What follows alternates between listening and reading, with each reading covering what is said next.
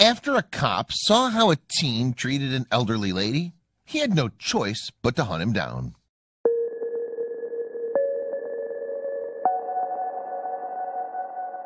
In August 2019, teenager Tyrea Pryor was in a grocery store parking lot in Independence, Missouri, when someone caught his eye.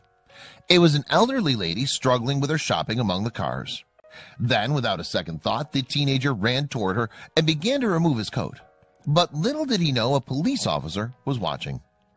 Officer Joe Holt was sitting in his patrol car after stopping off for a bite to eat, and he saw young Pryor running over to the old woman in need. However, the cop was taken aback by what the teen did next. Stunned by what he just witnessed, Holt followed Pryor back to the vehicle from which the latter had originally emerged. His mom was there, and the officer explained what he'd just seen her son do. But it didn't surprise her. After all, it wasn't the first time. Despite that, she found it hard to hold back the tears. But Holt wasn't done yet. He'd actually taken a picture of the teenager, catching him in full flight. And the officer wanted to make an example of him, so he posted the image showing Pryor helping the woman on Facebook. Holt's Facebook post soon went viral, and it was then that he recognized that he should do something. The cop needed to track the kid down, but he didn't even have so much as a name. So Holt used the power of the post he had shared and asked the internet, Do you know him? Holt serves the Independence Police Department, east of the Kansas City area, Missouri. Although he served as a police officer for several years, he was sworn into his current jurisdiction in June 2018. But even with the resources of the force at his hand, finding the teenager would be a task. Independence has a population of nearly 120,000. And given that Holt hadn't taken the teenager or his mom's name, where would he begin to search? Well, as it happened, crucial help came after his Facebook post went viral, and the story made it to the national news. The teenager was soon identified as Tyrea Pryor. And as it happened, it was one of his family members who had called the police department to name the boy that Holt was looking for. Naturally, when they saw why the police officer was trying to find him, they must have felt that it was the right thing to do. According to Neighborhood Scout, a lot of the offenses in Independence are property crimes, including burglary, car theft, larceny, and arson. In fact, the FBI notes that the city has among the highest rates of vehicle theft in the United States. It's an unfortunate statistic that Independence also has among the highest violent crime rates in the U.S., according to Neighborhood Scout. The local force employs just over 200 commissioned police officers, and the department has a clear mission statement. The Independence Police Department says that its aims are to protect life, individual liberty, and the property of all people within the city of Independence to lower crime and disorder in the community, to develop and maintain a positive relationship with members of the community, and to foster a positive work environment for police officers. As part of the Independence Police Department's mission statement had a particularly strong bearing on Holt on the day of August 2019. It's typical for cops on patrol around Independence to work 12-hour shifts. So inevitably, Holt eventually grew hungry and needed to grab something to eat. Hungry, Holt pulled up outside a local Hy-Vee store to grab some food. For those who don't know, Hy-Vee is a retailer with locations across eight Midwestern states. However, it doesn't just sell groceries. The store Holt visited offers fast food options with an on-site Chinese takeaway and Italian restaurant too. So with the culinary options available to Holt, he wasn't short of food choices. However, as an officer, his senses are no doubt on full alert, especially while on duty. And before he exited his vehicle, something caught his eye across the parking lot. Would he need to jump into action? To further set the scene, rain was lashing down on that August day, but it wasn't the inclement conditions that caught Holt's attention. Perhaps he hadn't expected to see anyone exposed to the elements, given how hard the rain was falling. Holt spotted a teenager, later identified as Pryor, running through the parking lot and removing his jacket as he did so. An unusual sight for sure, especially when most people would probably put on their coats during a rainstorm. But Pryor wasn't the only person outside getting wet at that moment in time. An elderly woman was struggling in the rain, walking to her car, and she wasn't wearing a coat. Holt, for his part, sat back and watched as Pryor ran over to her and was warmed when he saw what the teenager did next. As Holt described in his Facebook post, so today I experienced something that actually set me back a little. It didn't set me back because I was shocked, but because I got to witness it firsthand. So what was it that the teenager did to throw the cop off guard? Holt continued. With all the hate fueled by color, belief, sexual preference, or race, it actually pisses me off. Why? Because most of it's based off what they read in the papers. Most isn't based on personal experiences.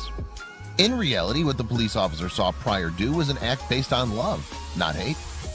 As Holt described, this young black male teen exited the backseat of a van he was in while it was pouring with rain, and he took his coat off and protected this elderly white female from the environment the best he could all the way to her car. But there was something else that stood out to the officer too. What impressed Holt was that Pryor did the act as if on autopilot. The former continued. He then walked back to his car, all while not saying a word to his auntie or mom when he exited or re-entered.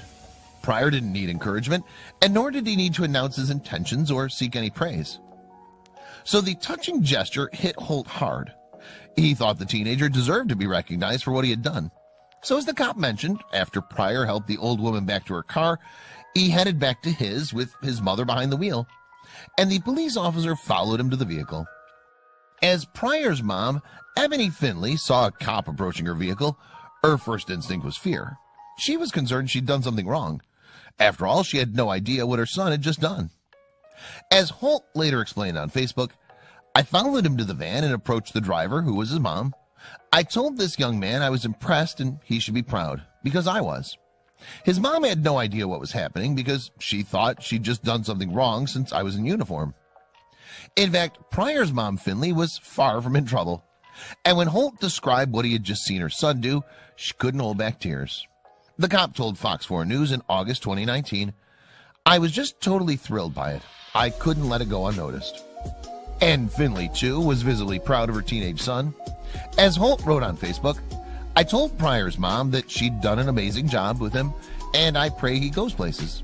She started tearing up because I was a cop and took time out of my day to call him out on what I witnessed. Holt continued in his post. This kid cared less about race, religion, or color the only thing this kid cared about was being kind. But another surprise awaited Holt when he shared the story on Facebook. Holt posted an image on the social media platform that he'd snapped from his cruiser, showing Pryor sheltering the elderly lady from the downpour with his jacket. The teenager can be seen placing his arm gently around her shoulders as he guides her to her parked car amid the pouring rain. The heartwarming image and story soon went viral, reaching as far away as New York and New Brunswick in Canada. It was further picked up by local, national, and international news outlets, and to date, it's been liked over 6,000 times and had over 2,500 shares. Holt closed his Facebook message with a promise, saying, Kiddo, if you see me on the street again, this guy owes you a dinner. If you ever need anything, I'll come running to you. However, inspired by the teen's actions, the officer realized he needed to take it a step further. As a reminder, part of the Independence Police Department's mission statement is to develop and maintain a positive relationship with members of the community. And that's exactly what Holt intended to do. So instead of a passive invitation to dinner if their paths happened to cross again, Holt put out word for Pryor to contact him. Of course, Pryor hadn't been in any trouble on that rainy day in the parking lot, and Holt hadn't thought to take down his mom's name. However, the story had gained such momentum that within a week, a member of Pryor's family came forward with the teenager's identity. As Holt explained to Fox 4 News, Pryor is the hero. I'm just the photographer in this situation. So it's wherever he wants to go. It's on my dime so he can pick. As it happened, the teenager chose Red Lobster, where Holt kept his word for both him and his mom. I've been doing that since I was young, just like helping people. Pryor explained to news outlet WQAD in August 2019. He further clarified, it looked like she needed help. I was raised to, like, do right towards anybody. It doesn't matter what race or anything. And although Holt had reduced his mom to tears when he'd explained her son's actions, it wasn't exactly a surprise. He's always helping people, cutting their grass, taking their groceries in for them, and always helping the elderly. Mom of three, Finley described to the Daily Mail in August 2019. That's my baby. He's my oldest, but he'll always be my baby. Pryor is now a motivational speaker at schools around the Independence area volunteering his time inspiring fourth and fifth graders to achieve their ambitions. As for her part, his mom explained that she's been touched by all the wonderful things people have said about her teenage son and the messages they'd left for him. Writing on the Facebook post about Holt's heartwarming experience with Pryor, one user commented, Bravo! His mom must be so proud of him because I know I am. Another added, Our world would be such a better place if we could acknowledge good over evil.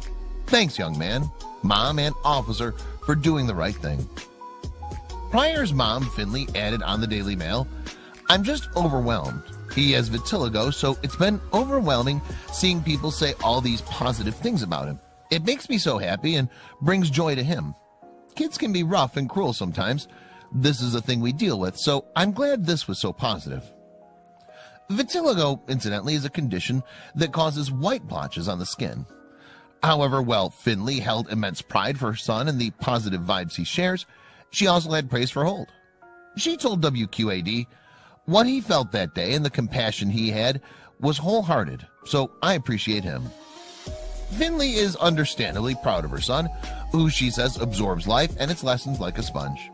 And it's an example that Pryor hopes we'll all learn from. Amazingly, the teenager even scored a job at Hy-Vee out of his random act of kindness that day. He told WQAD, doesn't matter who it is, just do what you know is correct.